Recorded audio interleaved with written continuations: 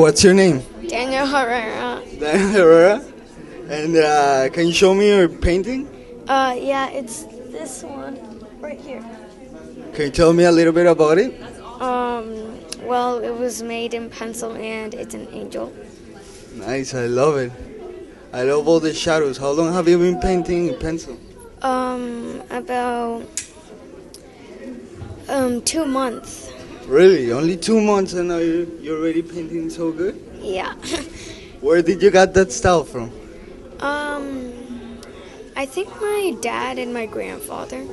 Nice. I love it. And uh, do you have any more paintings?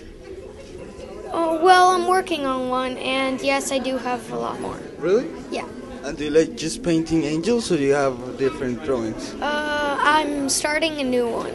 What's it about? Um, it's a bunch of fruit and stuff like that. Nice. It's really hard.